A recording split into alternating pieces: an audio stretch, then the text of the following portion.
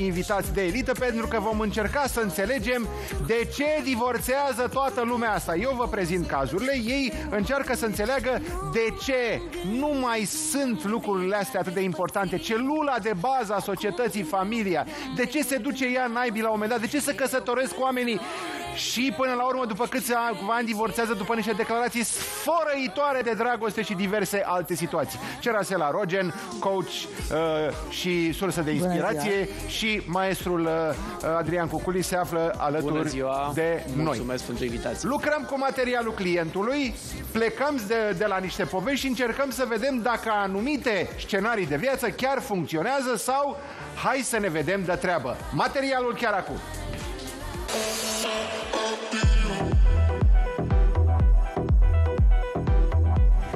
România a ajuns în topul european al ratei divorțurilor. Multe cupluri din showbizul românesc au influențat asta în anul 2022 și 2023. Nici nu a trecut jumătate din acest an și deja multe vedete din România și-au spus adio. Ilinca Vandici și Andrei Neacșu s-au despărțit de curând. Fără prea mare tam-tam, Ilinca și-a informat fanii pe rețelele de socializare, unde a spus că ei s-au separat ca și cuplu, dar vor rămâne părinți devotați în creșterea copilului lor. Dinu Maxer a fost prezent în platoul exclusiv VIP la doar o zi după semnarea actelor de divorț. Iată-mă aici, ieri am semnat actele de divorț. Sunt într-un, într-o situație în care... Da, ieri n-ați fost împreună undeva la un eveniment? Ba da. Ce tare! Adică asta spune foarte mult. Deci, practic, voi v-ați despărțit, dar deci dacă era cu Noi nu ură, certat. cu trădare, era cu grenade, cu dălea, nu vreau să exact. te mai văd. Noi nu ne-am certat, noi ne-am despărțit. O altă despărțire a anului 2023 este cea dintre Oana Matache și Răzvan Miheț.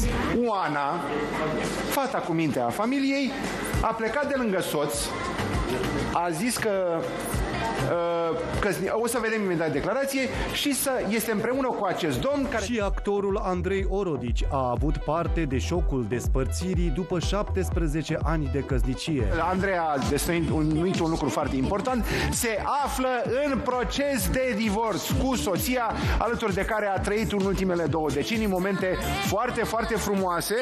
Gurile rele spun că și Loredana Groza s-ar fi separat de tatăl fetei ei, Andrei Boncea, dar vedeta nu a confirmat nimic încă. Iar de-a lungul anului 2022, mai multe cupluri din lumea mondenă s-au separat din diverse motive. Cele mai mediatizate despărțiri au fost Ana Maria Prodan și Laurențiu Reghecamp, Simona Halep și Toni Iuruc, Alina Sorescu și Andrei Ciucu, Raluca Bădulescu și Florin Stamin, Paula Selin și Andrei Bucura, Andrei Antonescu și Victor Vrânceanu.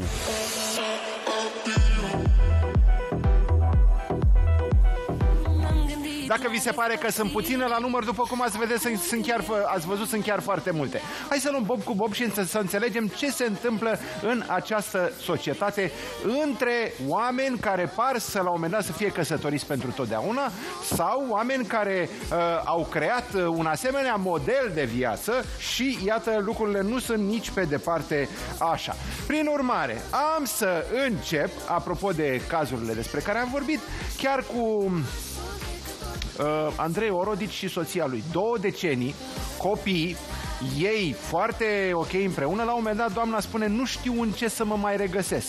Se hotărăște și la un moment dat pleacă în străinătate și se apucă de yoga, el rămâne acasă, ea în India practicantă de yoga fiind, de acolo află că băiatul care era într-un an important de examene este susținut de tată, care tată este oarecum tulburat de acest deznodământ. Este posibil, acum să mergem direct nu neapărat către acest caz, ci către principii. Este posibil ca la un moment dat să ne transformăm într-atât că se spune așa, domne, nu încerca să-l schimbi că așa l-ai luat. Dar ce te faci când el se schimbă? Adrian, uh, Cerasela, deci oameni care, iată, la un moment dat zic, nu mă mai regăsesc, mă apuc de ceva și sunt chestii de viață, adică băiatul într-un an cu examene și totuși alegi să pleci.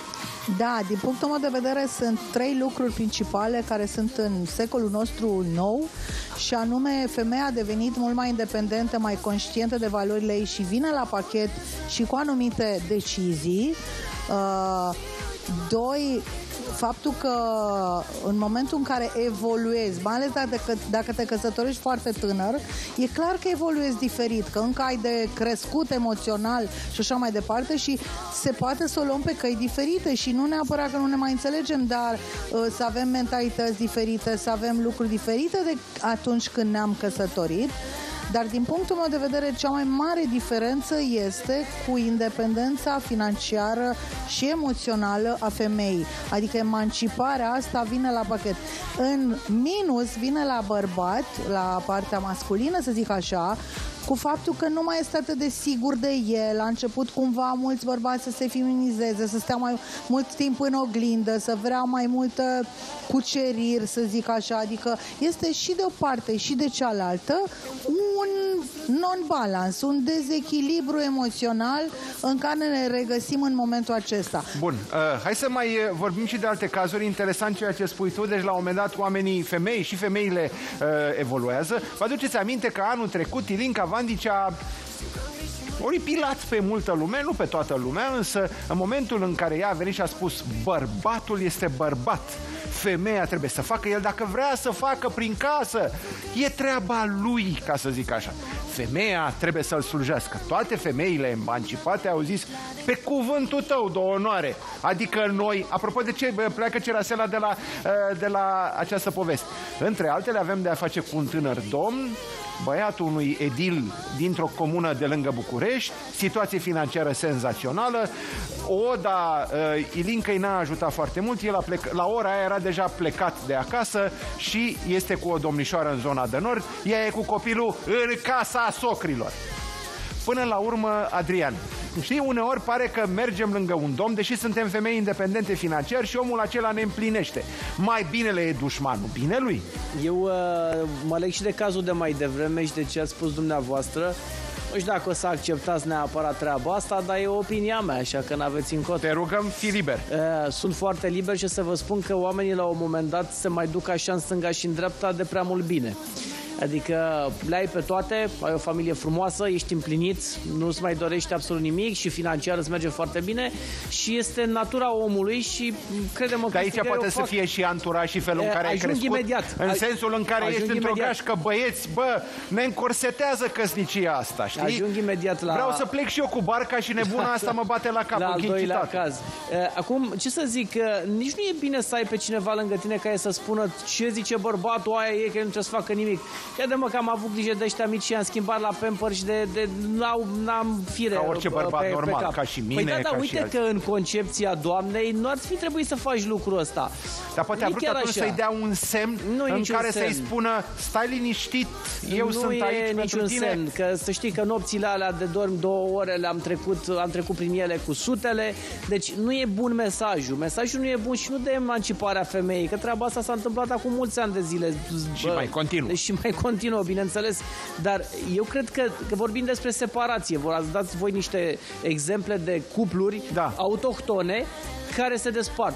Păi începem în primul rând de la ce am spus mai devreme. Povestea asta că ne este foarte bine și nu știm ce să mai facem. Numărul 2 și nu minimalizăm situația asta, nu știu dacă se regăsește vreunul dintre cazurile voastre în povestea asta, dar violența face parte cumva din motivele de divorț foarte Așa actuale. Este. Și numărul 3, cred eu foarte important, infidelitatea, care pe de o parte e băgată sub preș în anumite cupluri, pe de altă parte femeile ale emancipate despre, care, la iveală în despre care vorbeai tu mai devreme, e bine, nu acceptă povestea asta și atunci rup relația respectivă. Și să știi că, din nefericire, foarte multe dintre cuplurile pe care le-am consiliat eu în fața Te instanței rog, de judecată, de, de experiența ele ta, au ajuns cumva în punctul acela e, e, atât de avansat încât să apară și violență și așa mai departe, pentru că una dintre cele două, nu spun dacă era doamna sau domnul, au rămas în relațiile respective pentru că aveau un confort financiar și au sacrificat propria lor viață și libertatea copiilor lor și, dacă vrei, sănătatea emoțională a copiilor lor,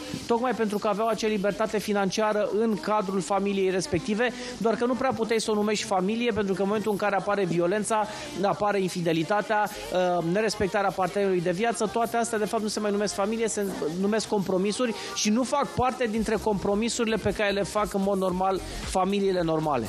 Mă întorc la Cerasela, vorbim despre emancipare. Ne, ne întoarcem la dorința femeii de a trăi și altfel, deși, iată, mai avem un caz, s-a dezbătut atât de mult, am dezbătut tu chiar aici la emisiune și au fost, s-au dezlățuit foarte multe sensibilități. O avem pe sora Deliei, Oana Matache, mamă bună, doi copii, cu un soț la locul, la locul lui, iubit efectiv de mama soacră, adică de mama, mama Deliei. E vorba despre Răzvan și la un moment dat, Oana spune, nu mai suport și ajunge în brațele unui tânăr domn nu are caracteristici nici de soț, nici de tată în general, mai flower power, ca să zic așa băiatul, de care însă Oana se îndrăgostește într-atât încât se sărută în direct pe internet.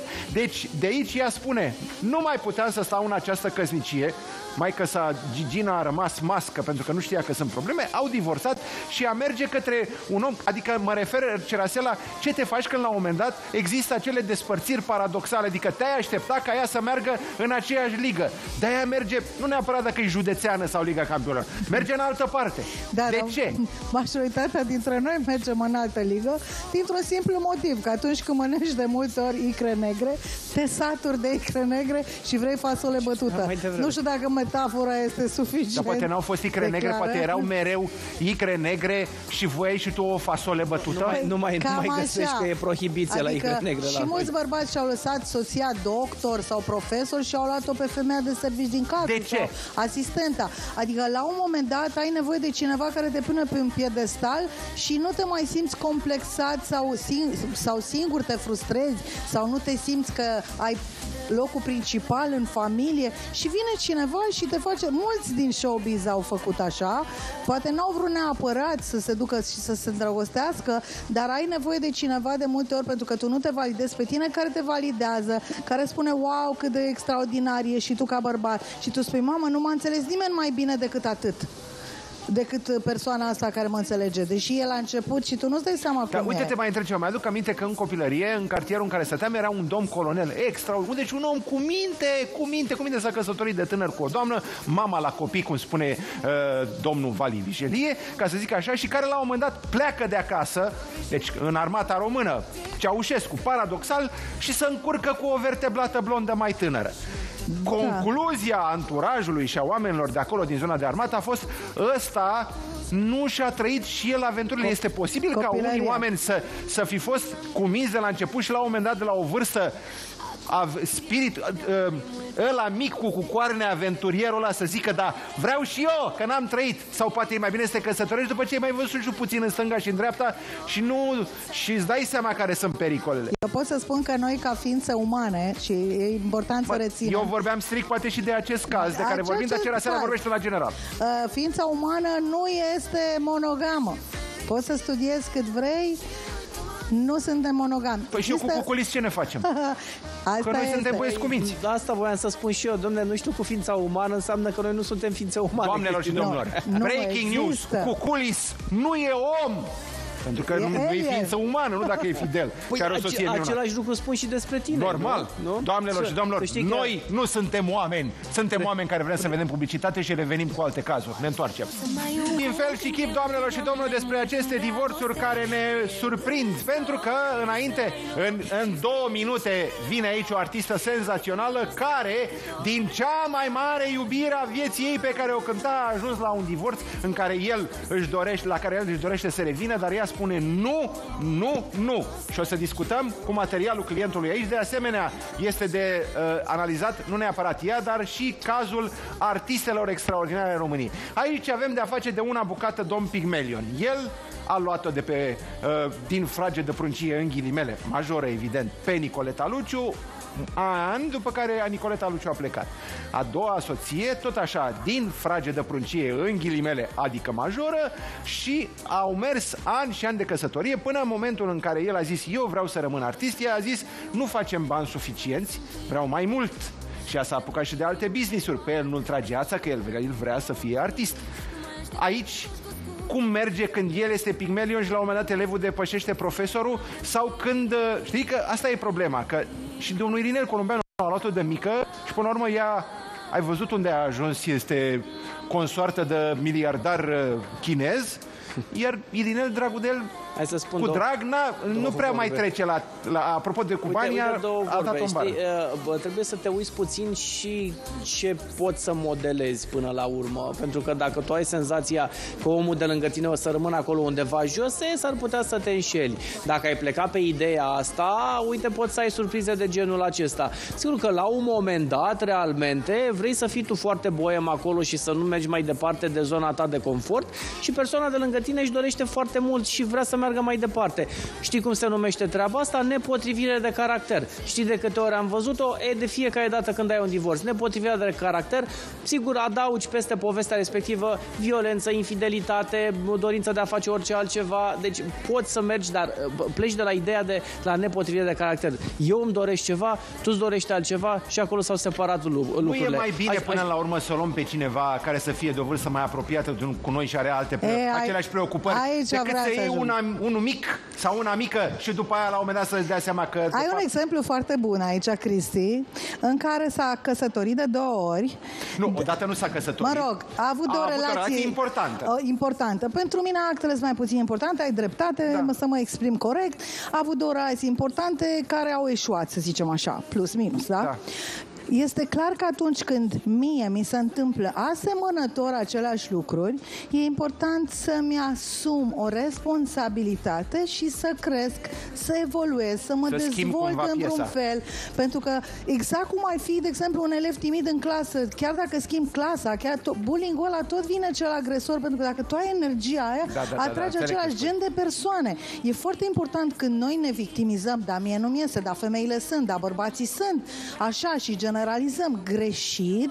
Dacă ai un fir roșu și ți s-a întâmplat o dată, de două ori, de trei ori, chiar și doar în relații, nu numai căsătorit, că ceva nu ți iese și mereu cumva ești părăsit sau ceva nu-ți convine, e clar că ai nevoie să lucrezi cu tine. Noi avem nevoie să conștientizăm și cuvântul se numește asumare. Să-mi asum dacă iau pe cineva foarte tânără, apropo de ce ai spus, să-mi asum că la un moment dat elevul depășește siguranța de sine și profesorul și pleacă. Sau Deci să mai bine decât să fii pigmelion, mai bine cauți un partener un de, partener de cu iubire, valori, cu aceleași valori în comun. Și un, un anumit gen de maturitate Exact, scoți compa- tu ochelarii de comparabil. vedere, scot și eu când mergem la restaurant sau Și s-a făcut întuneric, da.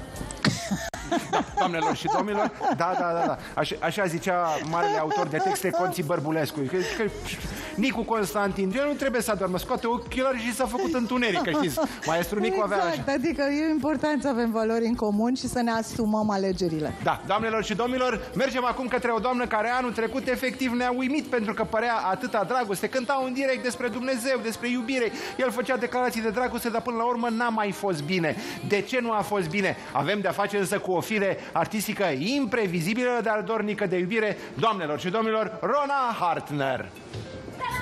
Oalele, ce ne fac, doamnelor, hopa, hopa, Rona, Rona. Mua, mua. Eh, Domnul Cuculis, eh, între două nu te plouă sau stai la margine aici? Acum mă gândeam dacă să mă pun la margine sau să o las pe doamna la mijloc. S-a rezolvat. Așa, să Doamnelor fim și două domnilor, în frumusețe. centrul atenției mereu Rona Hartner, fără niciun fel de problem. Plecăm, apropo de discuția cu Rona, că nu facem un proces de... uh, despre, pentru că Rona a explicat destul, dar încercăm să înțelegem ce se întâmplă în mintea unor oameni pe care uneori îi judecați fără să știți. Vorbim și despre faptul că, fără să bănuiască cineva sau fără să se fie așteptat, tatăl Loredanei vine și spune, dar ce treabă mai are fata mea cu domnul Boncea? Vorbe de clacă despre Loredana și despre relația între uh, ei cu soțul sunt de ani și ani de zile. U Loredana n-a catadixit, este o femeie liberă, Andrei Boncea nu dă declarații din principiu. Pe de altă parte însă este foarte clar că avem de-a face și la Rona și la Lore- Loredana de, de două artiste vulcanice, imprevizibile, pe care trebuie să le înțelegi așa cum e Marfa, cum e Rona. Adică de ce o fire iubitoare, spectaculoasă, nă dați-ne un microfon, că n-avem ce să facem acum. Domnul Cuculis, venim cu alt microfon. Faceți o donație, doamne, Ok, că e bine, dar mersi. venim cu... Imediat, da? Așa. Da, uh, cum se face că noi se ne înțelese în căsătorie? Da. Este pentru că, într-adevăr, suntem electroni liberi, uh, artistele, s- în general, avem foarte multe inițiative. Dar ce mai este foarte ciudat este că noi, artiștii, fiind hiperempați și hipersensibili, atragem perversi și narcisiști. Adică noi atragem bărbații care nu sunt buni pentru noi. Pentru că eu, de exemplu, într-o relație dau prea mult. Eu îmi răsfăț toți bărbații până când devin groaznici și trebuie să scap de ei. Pentru că, pe bune, eu recunosc. Excepțional. Recunosc că îi răsfăț ca pe niște copii mici, îi răsfăț de la la 10, e exagerat. Și atunci trebuie să zâmbăt Devine răzgăiat și atunci trebuie să-l trimiți Trebuie la să plimbare. divorțez, trebuie să divorțez. Nu vreau să divorțez. Eu m-am căsătorit. Eu de la 18 ani vreau să mă căsătoresc, să fiu cu un singur bărbat toată viața. Nu se poate. Nu știu ce fac. Unui tatăl la copil și altul a fost o mare iubire care s-a terminat repede. Da, și, uh, și mi-am dat seama de chestia asta. Uh, mi-a trebuit o viață să învăț să spun nu, dar cred că cel mai mult îmi mai trebuie o viață acum și să învăț să mă las iubită și nu, să nu mai dau eu totul. E o mare chestie și spun noi, reușești hiperse, noi la această hipersensibili. vârstă fragedă? E greu pentru că, uite, uh, ideea e următoarea. Eu știu dinainte ce are nevoie un bărbat. Știu dinainte, eu, eu scanez oamenii, știu exact ce ar face plăcere, ce nu știu. Și atunci vin înaintea dorinței lui. și Pot sunt să genul completez cu ceva. Da, te rog satisfăcătorul, frumos. Te rog empatul frumos, și așa mai dai departe. bătaie. E, ești rolul mamă, ar trebui să ieși din rolul de mamă și să intri în rolul de femeie. Și Pentru că mamă acolo- și femeie, dar eu, ideea este că eu sunt și cu- femeie copil și în același timp și- sunt și uh, atentă ca o mamă și uh, da, am și chestia asta, știi? Acolo am mai trebuie multe... să Micșoreze Da. un pic rolul. Domnul avocat, dacă aveți loc, da. Acum, auzi, la tribunal cu el ajungeți. Vorbiți voi de poezii, Eu da? uh, rețin că dumneavoastră ați spus în felul următor, ne-am văzut de curând, ne-am auzit de curând să fie vreo trei săptămâni și povesteați în felul următor. Că, domne, el ar fi vrut să vină înapoi, doar că eu n-am mai vrut și i-am spus clar, băi, băiatul înțelege că gata, s-a Da, terminat. da, da, da. Omul a Da. tot tras clopotele și nimic. Deci, uh, vedeți uh, și povestea asta, că, domne, știu exact ce am de făcut. E foarte important că de foarte multe ori, și eu am dat exemplul ăsta și cred că l-ați auzit atunci, am un cuplu care a divorțat, s-a căsătorit și au divorțat de 5 ori. Adică nici treaba asta nu e chiar în regulă. În primul rând că... N-am vrut să ajung la Bacmuțeanu și Prigoana, dar dacă insist, Nu, pot să dar ajung. nu, ei sunt alții. Dar e bine, e bun și Și exemplu uite ăsta. că Adriana crede în căsătorie că tocmai s-a Am văzut, căsătorit știu, la știu, știu. șase sau șapte Da, ori. da, da, da. Ei, într-adevăr, sunt un Noi, exemplu. noi prof, profund suntem niște cu- copile care credem încă în marea iubire și ne îmbrăcăm în prințese și aia. Aia suntem noi, femeile, în general, profund. Nu cred că ai să vezi vreo fată de șase ani care zice eu aș vrea să fiu prostituată mai târziu. Nu! Ea la șase ani, ca și la 20, la, și la 100, noi toate credem că vom fi prințesele unei mari povești de dragoste. E adevărat, unele Toate dintre ele își mai suntem dorește așa. și bănuți mulți și atunci E, apare o prințesa mică a zis tactică că... a compromisului. Nu, nu, că prințesa vrea și castelul, nu numai iubirea, vrea Asta e și problema, iubirea mai și întâi vrea castelul. castelul și după aia iubirea la multe, mai nu, multe generații. nu, eu cred că... Cerasela, cum e? Cred că...